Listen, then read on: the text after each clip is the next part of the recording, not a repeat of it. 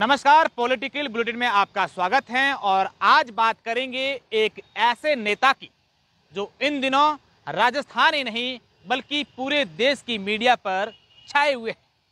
हालाँकि, ये पहले भी कई बार चर्चाओं में आए, लेकिन पिछले दो दिनों की बात करें तो ये ज़बरदस्त तरीके से सोशल मीडिया पर ट्रेंडिंग हो रहे हैं। मैं बात कर रहा हूँ एक ऐसे नेता की, जो छह बार विधायक रहे और दो बार मंत्री रहे। जी हाँ मैं बात कर रहा हूँ पश्चिमी राजस्थान की गुड़ा मलानी विधानसभा क्षेत्र के विधायक हेमाराम चौधरी की। हेमाराम चौधरी अब सोशल मीडिया पर क्यों छाए हुए हैं, उसको लेकर पहले बात करेंगे और हेमाराम चौधरी को लेकर जो कल बातें हुई कि हेमाराम चौधरी दिल्ली जाकर के एक बड़े नेता से उन्होंने मुलाकात की है और ऐसा बताया जा रहा है कि हेमाराम चौधरी एक ऐसा निर्णय लेंगे जिससे पूरे मारवाड़ नहीं, बल्कि राजस्थान की सियासी गलियारों में एक भूचाल आ जाएगा। उस मुद्दे को लेकर भी बात करेंगे, लेकिन सबसे पहले हेमाराम क्यों छाए हुए?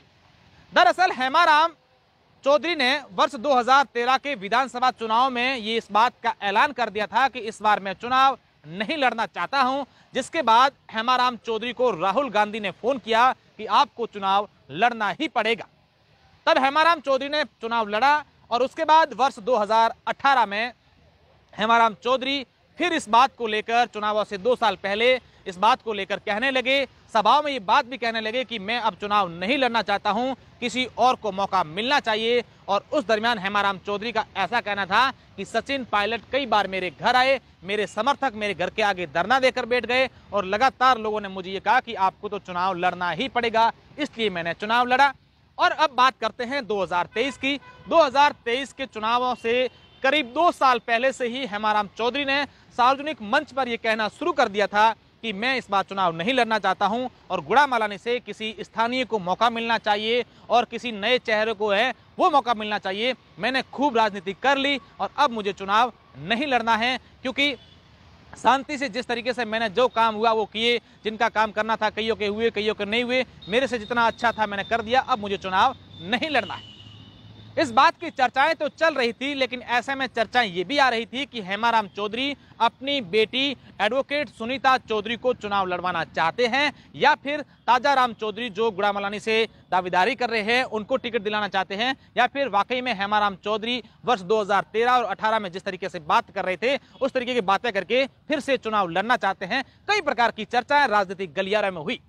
जब हेमाराम चौधरी ने यह बात कहना शुरू कर दिया था कि मुझे गुड़ामालानी से चुनाव नहीं लड़ना है। इस दरमियान बीजेपी के पूर्व सांसद और नेता कर्नल सोनाराम चौधरी ने इस बात को लेकर इच्छा जताई कि मैं गुड़ामालानी से चुनाव लड़ लूँगा। अगर हेमाराम चौधरी नहीं लड़ते हैं तो इस प्रकार की कई बातें सामने आई।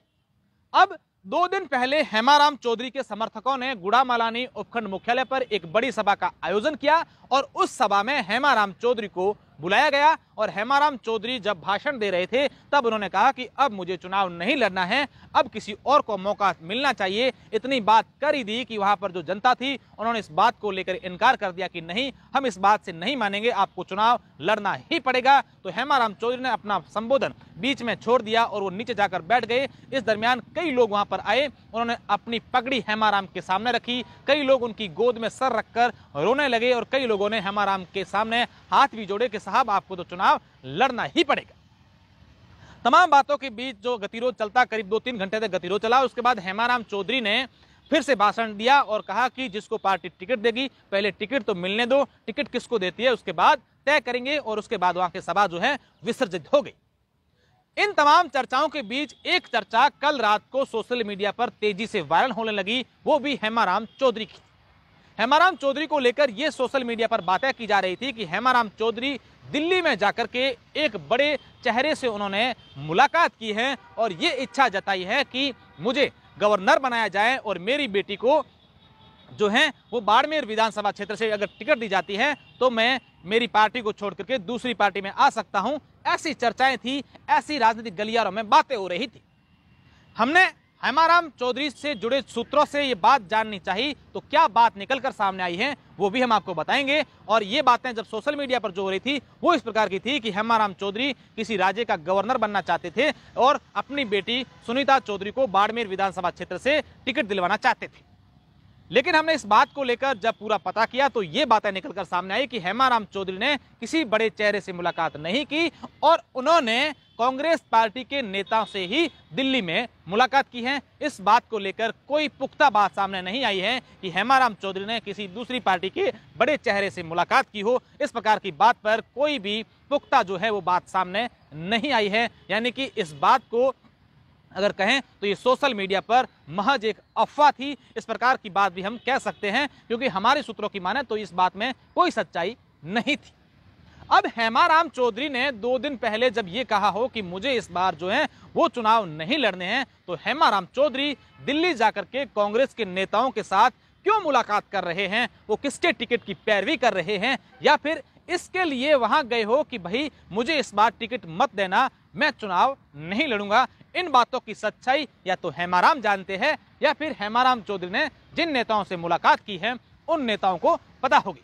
अगर हेमाराम चौधरी की बात करें तो हेमाराम चौधरी की जो छवि है इस पूरे मारवाड़ में और विशेषकर उनकी विधानसभा क्षेत्र में वो इस प्रकार की रही है कि वो हमेशा ईमानदार और स्पष्टवादी नेता रहे हैं और उनको लोग यही कारण है कि इस तरीके से चाहते हैं। हम देखते हैं कि देश भर में कई नेता जो हैं वो टिकट के लिए जयपुर और दिल्ली की चक्कर निकाल रहे हैं। न जाने कितने उन्होंने खर्चे कर दिए होंगे, न जाने कितनी सिफारिशें कर दी हो, लेकिन एक नेता ऐसा जो ये कह रहा है कि मुझे जो हैं, वो टिकट नहीं चाहिए और मैं चुनाव नहीं लड़ना चाहता हूँ। अब कांग्रेस की जब पहली सूची जारी होगी, उसके बाद ये तय हो जाएगा कि गुड़ा विधानसभा क्षेत्र का नाम आता है। अगर आता है तो कहीं ना कहीं हेमाराम चौधरी का अगर नाम नहीं आता तो हेमाराम की बातों में कितना दम था, ये बात स्पष्ट हो जाएगी। लेकिन अगर बात गुड़ा मलानी का जो नाम है, वो कांग्रेस की पहली सूची में नहीं आता है तो आने वाले दिनों में कुछ अलग ही देखने को मिल सकता है।